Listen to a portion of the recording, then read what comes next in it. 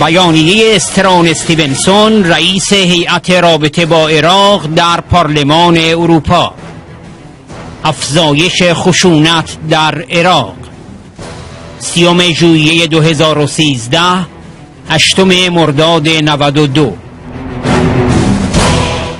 از ابتدای ماه ژوئیه 719 نفر در عراق کشته و 1581 تن مجروح شدند. یعنی تقریبا روزی 90 کشته و مجروح. اما مالکی که مسئولیت تمام یار پرونده امنیتی و پنج وزارتخانه تابعه را انحصارا در اختیار دارد بیش از یک هفته است از حضور در پارلمان و پاسخگویی به این افتضاح سرباز می‌زند. روز به روز بیشتر روشن شده که مالکی آلت دست رژیم ایران است که سیاست های فرق گرایانه او را تعیین می کند و از حمایت او از رژیم وحشی بشار اسد نیز مطمئن شده است. جامعه بین المللی باید خواستار خلعید کامل از رژیم ایران در عراق و برقراری دولتی مستقل و غیر فرقی و مصمم به برقراری حاکمیت قانون باشد. انفجارهای مستمر و حملات تروریستی مکرر و افزایش روزانه شمار قربانیان در عراق موجب نگرانی شدید جامعه بین المللی شده است.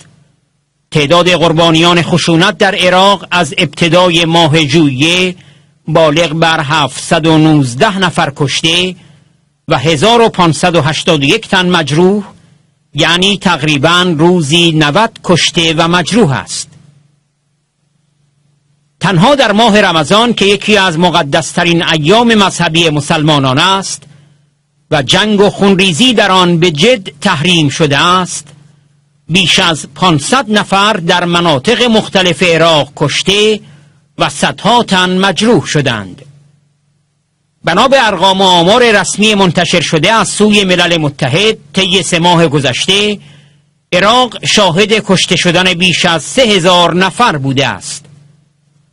ترورهای فرقی و جابجایی اجباری شهروندان به خاطر اعتقادات مذهبیشان در استانهای دیالی، کرکوک و بغداد در ماه گذشته منجر به محکومیت مستقیم از سوی اتحادیه عرب گردید. نارضایتی اجتماعی به دلیل گستردگی فساد اداری و فقر و بیکاری و نبود خدمات پایه‌ای به خصوص آب و برق در کشور ثروتمندی چون عراق به سرعت در حال گسترش است. استانهای شیعه نشین جنوب کشور علیه دولت و شخص نوری مالکی در ابعاد میلیونی به خیابانها ریخته و اعلام تحسن کردند. استانهای بصره، زیغار، میسان، کربلا و المسنا حالت انفجاری دارند. این در حالی است که تظاهرات و تحسنهای استانهای ششگانه سنی نشین بدون اینکه به خواسته هایشان از سوی دولت توجهی شده باشد وارد هشتمین ماه خود شده و هیچ نشانی از دادن امتیازات از طرف دولت وجود ندارد.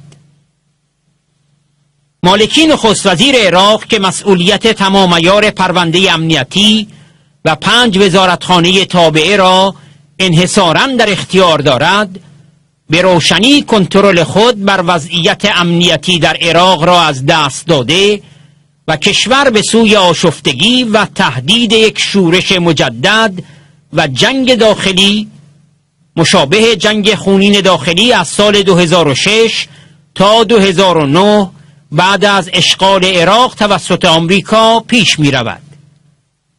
امریکا اگر محقق شود امنیت و ثبات منطقه‌ای و بین المللی را نیز به جد تهدید خواهد کرد تعجب آور است که نیروهای امنیتی و نظامی عراق که تعداد آن به بیش از یک میلیون نفر با بودجه معادل 20 میلیارد دلار در سال بالغ می شود قادر به حفظ امنیت نه تنها در بین شهروندان بلکه حتی در داخل بزرگترین زندانهای تحت کنترل خود نیستند.